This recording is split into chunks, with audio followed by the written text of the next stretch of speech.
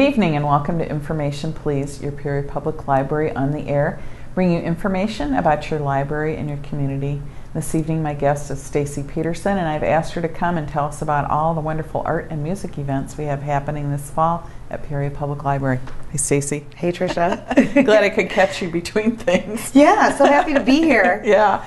Well, one of one of the things that you've got booked for us is music in the Mackenzie, which I hope people will see our, our cool new logo and things around town. But we hope Yeah. for this to be an ongoing series, right? We do, we do actually. Um, kind of following on the heels of having a klezmer band at the North Branch, and then we had Little Rev who played Tin Pan Alley songs from the 30s, and then we brought in the Lewiston High School tube band who played on PVC pipes.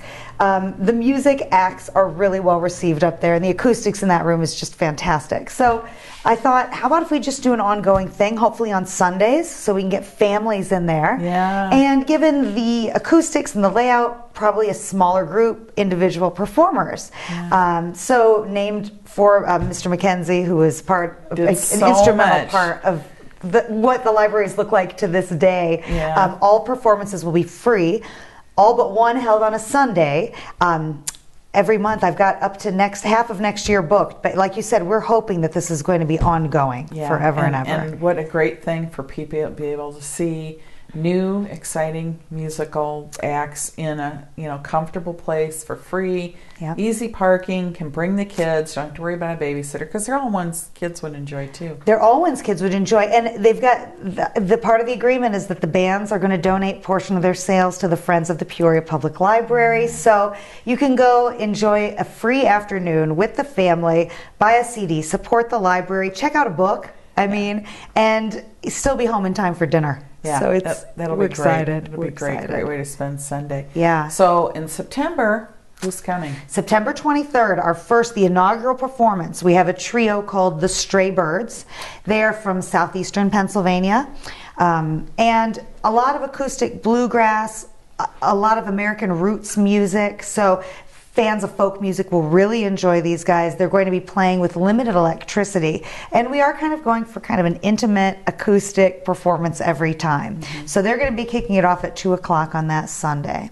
That'll be great. I am excited about them. They've never mm-hmm. been to Peoria, so it'll be neat to give them a little bit of Midwestern hospitality. And if anybody watches or listens to Folk Alley online, they were just featured on Folk Alley. So they're Mm-hmm. they're going places, and this might be your chance to see somebody who's going to be very well known very soon. Right, or who who are really well known already because Yeah. Uh-huh. for example our October performer it's a gentleman named Patrick Hazell. Patrick Hazell is known as the godfather of Iowa blues and I know that sounds crazy who has blues in Iowa but I've seen him play and he has got it down. He started playing um, boogie woogie piano. He endorses uh, Hohner harmonicas. He's been inducted into the Iowa Rock and Roll Hall of Fame, a museum that I've visited in Okoboji, Iowa. And he's just a wonderful one man performer. He has a loyal following. Uh, he's already started promoting us on his website. He has over 36 recordings to his name. So we're very excited to bring somebody also of his stature, a little bit closer to home, but Yeah. you know, well, I've heard that he's known. one of the world's best harmonica players as well. It's been said. It has been said. So This we is- hope to see some of that in We're action. going to have all the kids going home and wanting to play harmonica. Wouldn't that be great? Parents would will write us letters, I'm sure. Yeah.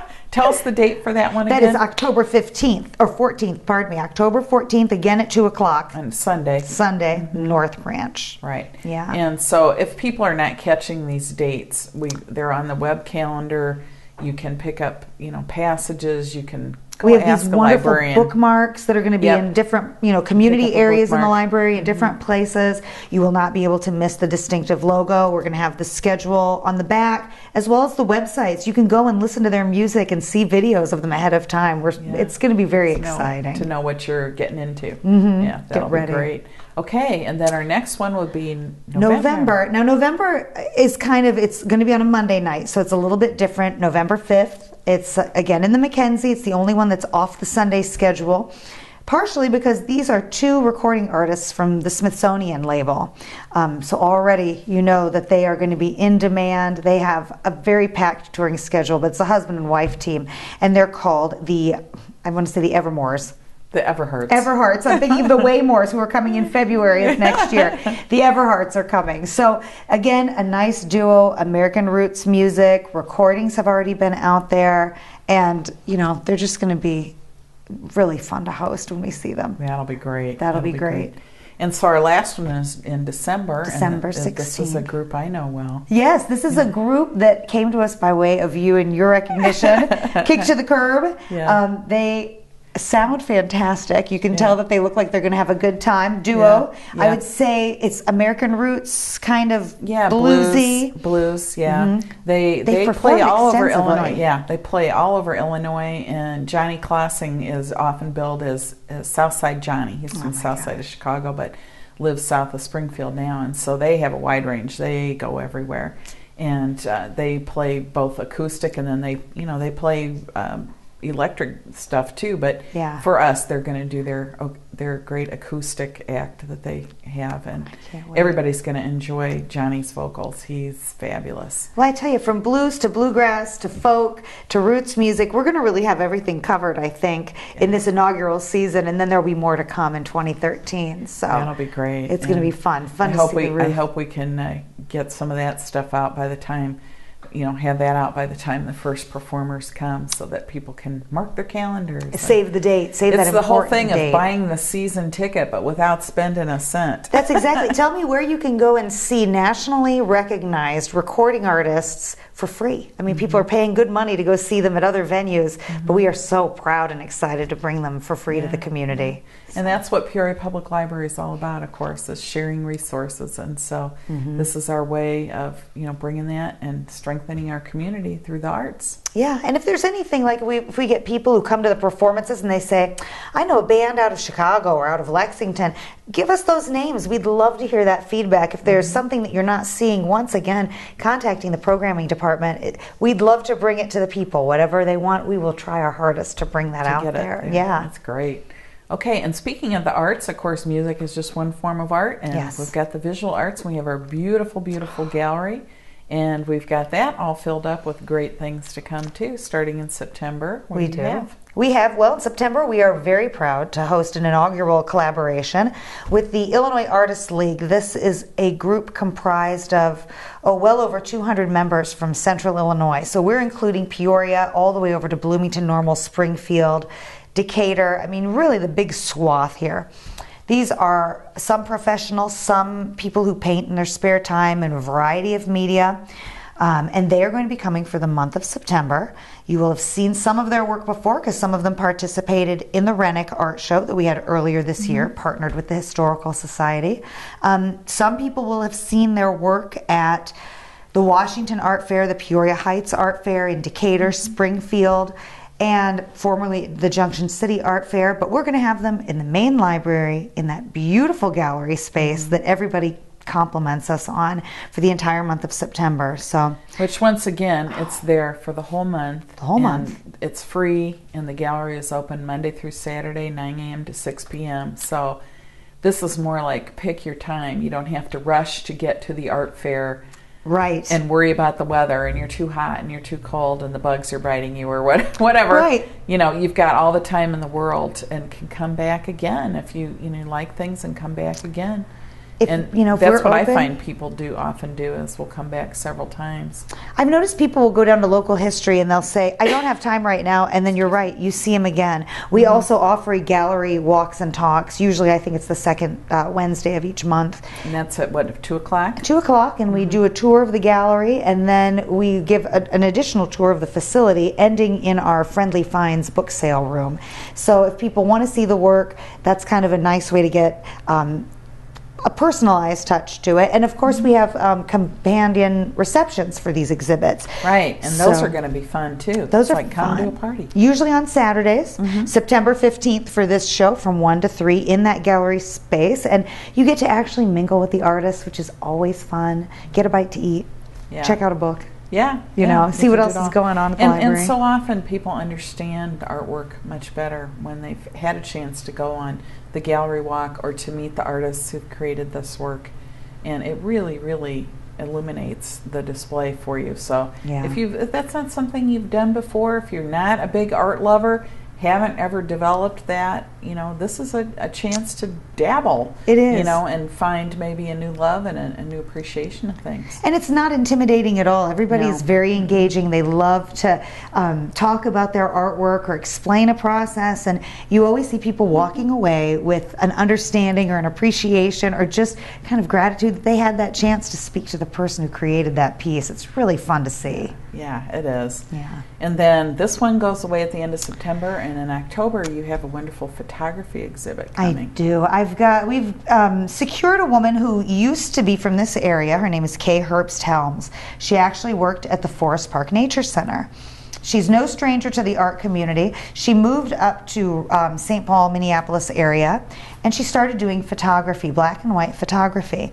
She's fascinated with hands, and she started a series with a series of nuns' hands. So she would just photograph these nuns' hands. And she entitled that series um, Those Who Serve. Then she started working with some farmers from the Rochester, Minnesota area and really found strength and beauty in their hands as well. So for our space, she's going to bring a combined show of both the hand photography of the nuns and the hand photography of the farmers, and it's going to be called Of Heaven and Earth. Um, very nice. We, we're very excited to host her. She's been in several galleries up in the Twin Cities area done gallery talks, has been published in different books.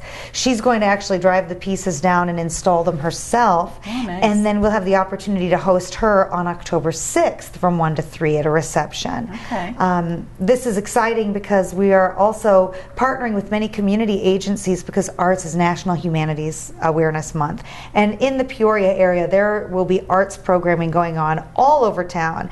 And I'm very proud to say that the Peoria Public Library System will be contributing a lot of events to this in all of our locations. So, I, once again, we always encourage everybody to come to our branch locations, but there will be a lot of things going on in the month of October. Yeah, and of course, once again, that's all on the web calendar or Ask at the Desk. And Passages has lovely Passages, articles which about is our it. newsletter. And if you don't get passages, of course, just sign up on the web page to get it electronically. Yeah. Come in, pick one, a paper one up, and we'll be glad to do that. Or if you join the Friends, you automatically get a paper one mailed to you. That's right. So that's pretty cool. Yeah. Yeah, that's a lot of fun. And then in November, we have um, veterans. We do. We have expressions of those who served. And this is a show that came to us partially because uh, we were working with Nancy Davis from the Illinois Art League. And as she and I were walking through the gallery, we started talking a little bit about different things we'd like to do. And we both got very excited talking about um, veterans who use art as therapy from their experience. And she's been to Danville to th- where they have a huge art therapy program there for veterans at their facility. And then we started talking about veterans who are just hobbyists who do all kinds of work. And at, at that point, we said, we really need to do a show for this. Wouldn't it be wonderful? Let's do it in November. Let's try to do some Veterans Day events planning. And she took it and she just she's run with it she's um, working with the local order of the purple heart they're going to come and they're going to present uniforms on display we're going to have artwork that's used as therapy as well as artwork that is just these men who do men and women who do art as hobby it's going to be i think the first exhibit of its kind at least in central illinois in peoria area. exciting. we're really excited about it. It's going to be a wonderful event. It's going to be we're anticipating probably more entries than we might even have space for but it's Oh. going to be a really a really uh, gratifying and exciting month for the gallery And is there a reception for that one? there will be a reception for that as well. That's going to be on November 3rd. We didn't want to do it the second weekend because that was too close to Veterans Day. Right. We didn't want so to make many, it a conflict. Yeah, so many Yeah. things going on. So you can start your your honoring veterans a little Exactly. early and come to that reception. And then And then the gallery walk, of course, also will happen on the second Wednesday at two. Yeah, second Yeah. Wednesday at 2. And we're planning additional programming at all the branches for that too. So Oh, hopefully we can get some artists to come in and talk about it. And we're really looking forward to it. It's going to be a really exciting month. That's exciting. Okay, and then the last thing we have is um, authors is another form of art, which of course the library has always promoted authors, but we've got Always. some exciting things coming up, and the first one's a local broadcaster. Yes, if you listen to WMBD radio, you are no stranger to the traffic announcer Ken Zurski, and that's how many of us know him. Mm-hmm. Yeah. Um, little did we know he was writing a book on Yeah. the wreck of the Columbia. It's been very well received. He is actually already starting a second book. He is a historian, I think, at heart, and really enjoys writing about this story, which a lot of people knew about. It had not really been told. He will be at the North Branch on October 15th, which is a Monday night. And It'll be at six o'clock. He's going to do a presentation and then he's going to do a book signing right after. And there's been a lot of publicity about Ken and his book. So we're really excited to host him and kind of see him step away from the microphone with traffic and then talk about something that he's passionate about. Well, it'll be enjoyable hearing him talk since he's an experienced speaker. But also, you're right, the wreck of the Columbia is one of those stories that everybody sort of knows happened here, but they might not know all the details or they they think, oh yeah, where was that the Great Lakes or whatever, and they don't realize that how many people from Pekin perished. Oh and yeah. To be able to read the the stories, and we have lots of information at the library, which I'm sure he probably, you know, made use of in the writing of this book. But mm-hmm. but uh, it should be very well done, I think. And of course, once again, the sales benefit the friends. Again, and, so. and we anticipate big crowds for this because mm-hmm. of the regional interest. Yeah. Um, so I would suggest that people get there early. We don't want to pack the room too close to. We just want everybody to make sure they get a seat because yeah. it'll be a really enjoyable. It will program. be. It will be. Mm-hmm. And then in November you have another author coming, also locally, but telling a story from far away and long ago. Yes, I've got Dr. McDonald coming. He's a retired chiropractor. He's, uh, I believe it's November 18th. I want to say you can always check the web calendar. It's a Sunday at the in the McKenzie Room at the North Branch. He's going to actually talk a little bit about um, the camps and World War II, and I don't want to give too much away but it's it's a very personal story involving his father and his family. Mm-hmm. Um, and as far as I know, he's presented this once at another um, speaking engagement but his book was just published and he's he's a very interesting guy. Behind the gates is his his book. He's got a website so be on the lookout for that. And then in december we're going to have another local author fair. We had a very successful one at the auditorium at maine and we thought we would do a holiday version so people could get some holiday shopping done yeah. uh, that's going to be the first i want to say it's the first sunday in december we're going to have speakers in the seminar room and then at the same time you'll be able to go up to the mckenzie room and visit with the local authors. Maybe pick up some gifts for you know your holiday shopping. Yeah, Come for in, your book lovers. For your book lovers or people that just want some regional Peoria gift. So we continue to try to support those local authors and give them a venue where they can present their work. We're very that'll, excited. That'll be great. And those have always been really wonderful because you know the the authors come one at a time and maybe you miss them maybe you get to see them maybe mm-hmm. it's not a time when you can come so this is a chance to get to see them all together the, the people who publish locally that you know we really really like. Yeah. And of course we do have a wide selection of books about Peoria and local authors in our Friendly Finds bookstore. Oh yeah. Which is on lower level 2 at Main Library and run by the friends and all that money goes to support things like these other these other programs we're bringing in, like the musicians and mm-hmm. and everybody. So nothing's really better than a regional gift from yeah, the Friendly Finds. It says exactly. you can get a wonderful tote bag. It's got Peoria written all over yeah, it. Or you can get the Peoria history books and it's just you know great. Monica West, Vest Wheeler's books and yes. all sorts of things. And, and Monica, speaking of Monica Vest Wheeler, she will be at the North Branch reading spooky stories on October 24th. I know that's hard for us to think about Halloween when it's still lovely outside and school is just starting, but looking ahead. Oh, people are planning their costumes, though. Uh, yes, you know they, are. they, are. and she's wonderful. she's so engaging that we hope to see people. We've never tried this spooky story time by the fireplace, but there's a first for everything. I'm sure she's going to make it really spectacular. That'll be a lot of fun. Mm-hmm. Well, and of course, we're not on this show talking about all the arts events we have for kids, but there are a lot of them coming up, a yeah. lot of them. And so the best place to find out about that is kid events but another thing we have going on is November is the Write a Novel month where novelists challenge themselves to get that baby written. Oh in oh my gosh. Month. And so we're going to help out a little with that with a sort of a creative space. We are. We're giving them a space to do kind of this aggressive writing campaign where they you said it perfectly. They get mm-hmm. together, they encourage each other to write, and they kind of lock themselves in and just write, write, write, and critique each other. Um, so that's yeah, the Peoria Novel Club. That'll be very interesting to see how that kind of comes to fruition. Maybe yeah. we'll have the next bestseller penned at the North Branch. Won't that be great? That'd be exciting. I do actually know someone who the past couple of years has posted her progress on that on you know social networking sites and has the last two years managed to write a novel during the month of November. So it it sounds silly, but it is it is doable. But then she's published them as ebooks. So oh, that's wonderful. Yeah, and with publishing the way it is today, is you know you don't always have to have got all the print on demand stuff mm-hmm. and all the things. You can just go out there and read things as an ebook, and it's ready to go. That's that's wonderful. We've covered so much today. I feel like we ought to go back and and uh, refresh people's memory. We had um, Music in the Mackenzie, which is on Sunday afternoons. Mm-hmm. And can you rattle off the dates again, real fast? Sure. September 23rd, the Stray Birds from southeastern Pennsylvania. Um, October 14th, Patrick Hazell, the blues man from Iowa. November 5th, a Monday night, the only Monday night, we have the Everharts. And then December 16th, Kick to the Curb, 2 o'clock, Mackenzie Room. That'll be fun. Mm-hmm. Lots and lots and lots of fun.